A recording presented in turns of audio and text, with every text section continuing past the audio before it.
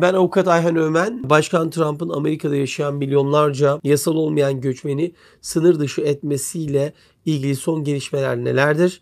Örneğin göçmenlik görevlilerini sınır dışı etmek üzere evimize veya iş yerimize geldiği zaman yapmamız gerekenler nelerdir? Bu durumda yasal haklarımız nelerdir tarzı bir önemli bir soruyla takipçilerimiz e, gelmiş durumda. Evet son bir ay içinde e, Başkan Trump yaklaşık bir ay önce Twitter hesabından milyonlarca yasal olmayan göçmenin hemen sınır dışı edileceğini, iki hafta süre vereceğini açıklamasını yapmıştı. Ondan sonra da o iki haftayı ertelemişti e, ve geçen haftadaki e, bu Temmuz 4 haftası olan tatil sonrası hemen başlayacağını bildirmişti ve bugün de bu hafta itibariyle de bu sınır dışı etme sürecinin sınır dışı etme görevlileri tarafından tarafından e, burada bulunan e, yasal olmayan e, ve sınır dışı karar almış göçmenlerin sınır dışı edilmesi için bu pazar başlanacağının haberini verdi. Şimdi buradaki durumu şöyle anlamak lazım. Bir,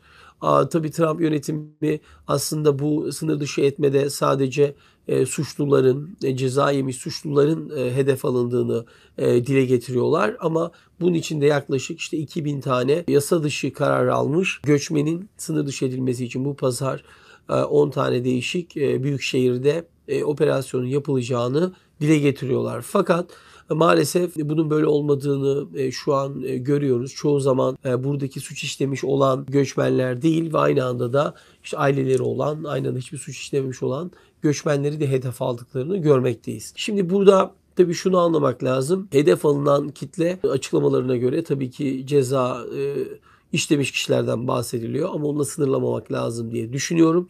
Ama asıl önemli kriter kişi eğer yasal bulunmadığı durumdan dolayı sınır dışı karar almışsa göçmenlik mahkemesinden ve üst mahkemelere gidip sınır dışı edilmeyi durdurmaya çalışıp ve onların da sonunda hala sınır dışı kararı çıkmışsa onlara karşı sınır dışı kararı o sınır dışı kararını üst mahkemeden onay alan kişilere karşı yapılacak bir operasyon bu.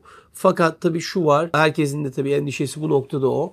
Ee, göçmenlik görevlileri, sınır dışı görevlileri, ICE görevlileri gidecekleri yerlerde kişilerin bir kişi için bile gidiyor olsalar orada kimlerin bulunup bulunmadığını soruyor olacaklar. Dolayısıyla o kişiyi bulamazsalar da yasal durumu olmayan başka kişileri gözaltına alıp e, onları e, gözaltına alıp e, gidebilirler. Dolayısıyla bu da çok ciddi tepkilere yol açtı. Hatta bu hafta buradaki e, meclis başkanının e, açıklamasıyla işte buradaki inanç kesimlerinin, vakıfların Başkan Trump'ın yaptığı bu adımın yanlış olduğunu, bu şekilde aileleri ayırmanın hiç Amerika'ya uygun olmadığını ve bu noktada onların da devreye girmesinin bir nevi e, rica etti. Dolayısıyla çok ciddi bir bu noktada tepkiler var. Başkan Trump'ın yaptığı bu karara.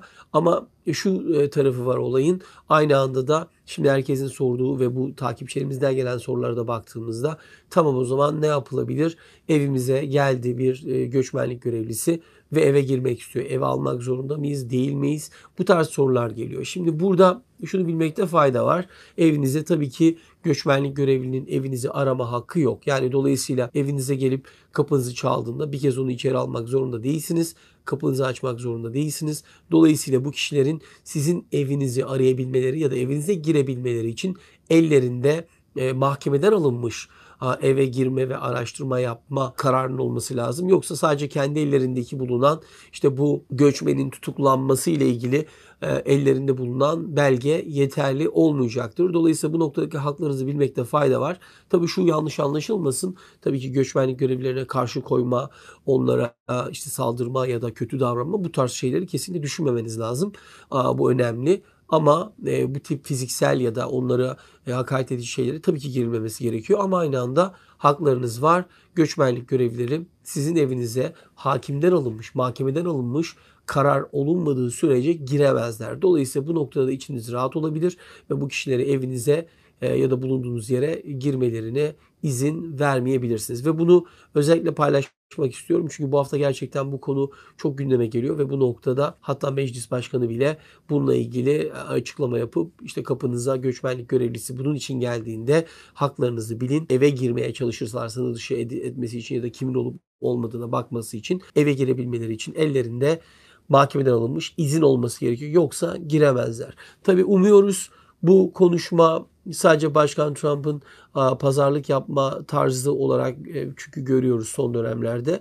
Umarız bununla kalır ve e, tam tersi böyle e, pazar günü bu tarz bir operasyona girmez diye umuyoruz. Ama tabii ki aynı anda da bu şu an yaşanan bir durum ve bu tarz bir operasyon olma ihtimali de yüksek olabilir. Dolayısıyla bizim bu noktadaki bu tarz duruma karşı kalacak kişilere tavsiyemiz dikkat etmeleri gereken haklarını bilmeleri ve dolayısıyla bu kişileri evlerine almak zorunda değiller.